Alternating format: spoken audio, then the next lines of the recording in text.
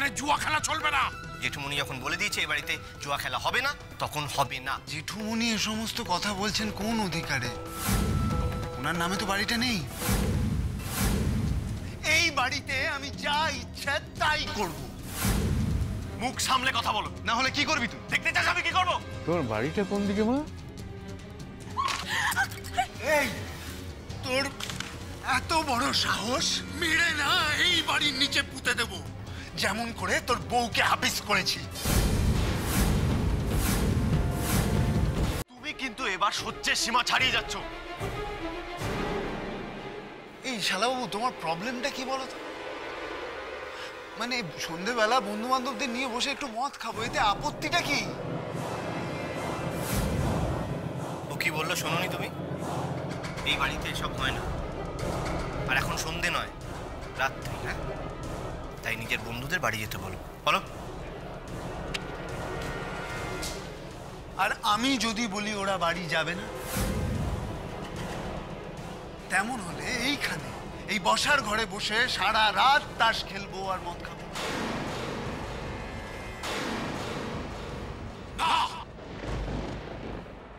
এখানে জুয়া খেলা চলবে না।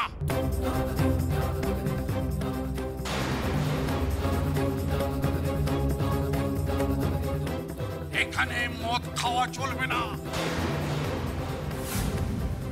এটাই এই বাড়ির নিয়ম। সেটাকে ভাঙা চলবে না। অনেকক্ষণ ধরে সহ্য করছি। এ বাড়িতে সব এলেলা পড়া চলবে না। আচ্ছা আপনাদের কি সমস্যা বলুন তো? এই বাড়িতে আসার পরে দেখতে পাচ্ছি ছুতোয় নাতোয় আমাদের অপমান করে চলেছেন। ছেলে মানুষ একটু বন্ধুদের নিয়ে খেলাধুলা করছে ঘরের মধ্যে বসে? তাতে ওদের তো সমস্যা? সমস্যাটা কোথায় সেটা যদি আপনি বুঝতে পারতেন তাহলে আপনার ছেলেটা উচ্ছন্নে যেত না। আপনি ওকে আটকাতেন। কিন্তু উল্টে আপনি ওকে প্রশ্রয় দিচ্ছেন। যাকে আপনাকে জ্ঞান দেবার কোনো ইচ্ছা আমার নেই। জেঠুমনির কথাই বাড়িতে বেদ বাক্য। জেঠুমনি যখন বলে দিয়েছে এই বাড়িতে জুয়া খেলা হবে না তখন হবে না। এই তোমরা প্লিজ যাও এখান থেকে যাও। বাবা! মা! দেখো কে ফিরে এসছে। শেষা ভাই মেজা ভাই তোরা কোথায়? দেখ কে ফিরে এসছে।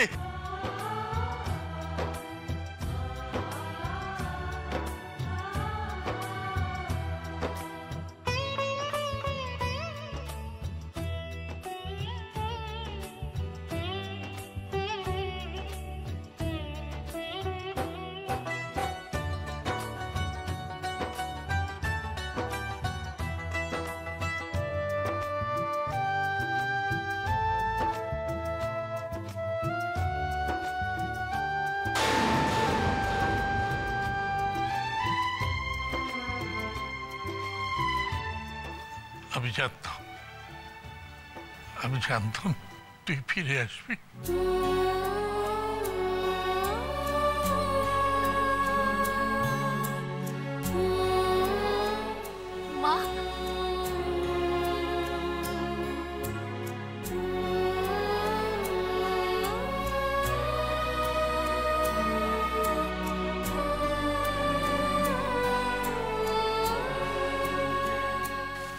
এসেছিস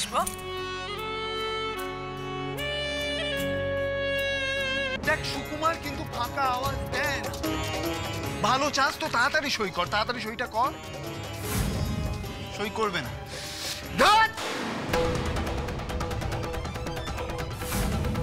আপনি ঠিক আছেন তো?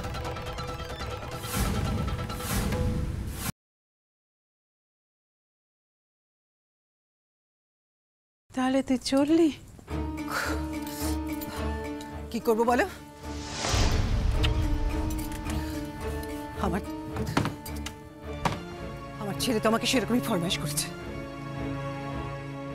তুমি যদি একটু অ্যাডজাস্ট করতে পারতে তাহলে আজ এইভাবে তোমাকেই বাড়ি ছেড়ে চলে যেতে হতো না।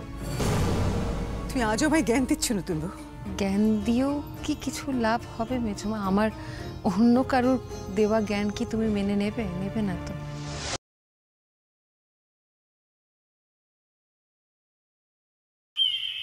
ওই মেয়েটি আমার বোন। আর ঠিক ওর মতো দেখতে আরেকটি মেয়ে ঈশান চ্যাটার্জির বাড়িতে রয়েছে। দুটো মানুষ যে এরকম হুবহু এক দেখতে হতে পারে এটা আমার ধারণার বাইরে ছিল। কি করতে হবে? খবর চাই মেয়েটার। মেয়েটা কে? কোথায় থাকে? বাড়িতে কে কে থাকে? কি করে? কেন ঈশানের তালে তাল মেলাচ্ছে? কেন ঈশানের কথায় উঠছে, বসছে? সব খবর চাই।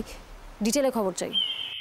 দামিনী দার্জিলিং থেকে ফিরলেই বোঝা যাবে যে ঘটনার এই গোলমালটা ঠিক কোথায়।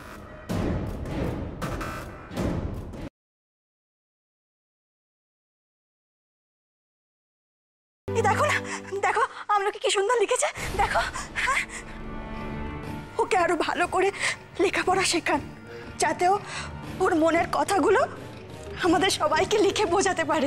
না না না দেরি করা যাবে না। ওই ডাক্তার আর চন্দনের হাত থেকে আমলকিকে ছাড়িয়ে আনতে হবে।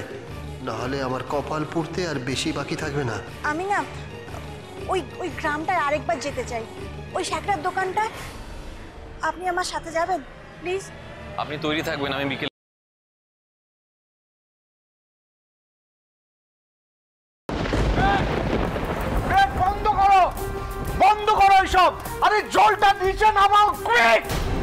বাবা, ভানু নিজে থেকে জল না নামালে বাইরে থেকে জল নামানো যাবে না। আর এই এটা একটা বুলেট প্রুফ কাজ। এটা ভাঙাও সম্ভব না।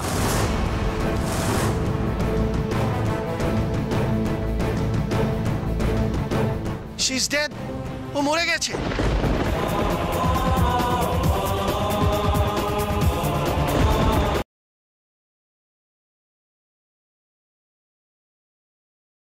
Single day you're late in office. I won't tolerate this anymore.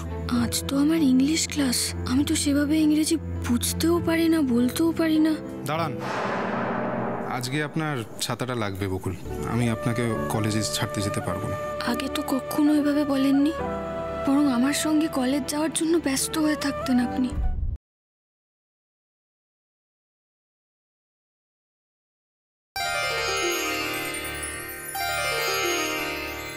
আমার কাজ শেষ লোকনাথ তোমার কাজ শেষ? আমার কাজ শেষ। এবার তোমার কাজ।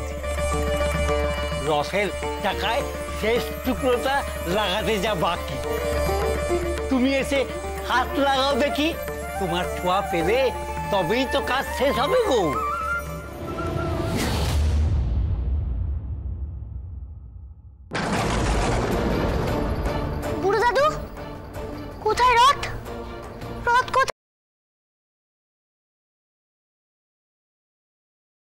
যে হারবে সাহেব আছেন না তিনি ইস্তফা দিয়ে দেশে ফিরে যাচ্ছে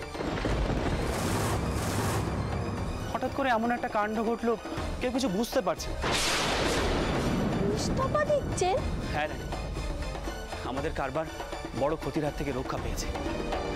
আমি ভেতর থেকে খবর পেলাম ওই হারবে সাহেব নাকি কাল রাত্রে কোনো এক বাইজি বাড়িতে নাচ দেখতে গিয়েছিল।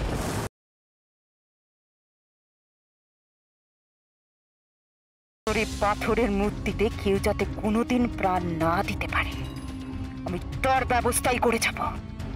এখনই এই মুহূর্তে ভেঙে ভেঙে টুকরো টুকরো করব তোকে। হ্যাঁ? না না মহারানী, এমন কাজ করবেন না, এমন কাজ করবেন না।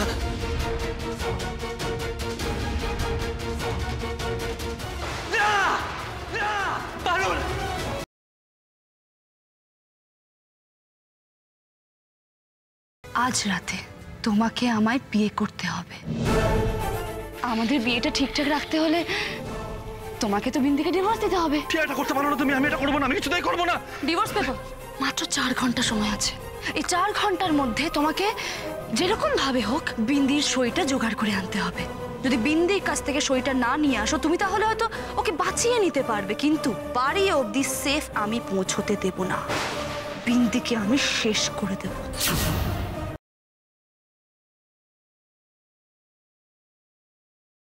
আমি কিচ্ছু জানি না। জ্যাঠামশাই লোক আমাকে নিয়ে পার্লারে এলো।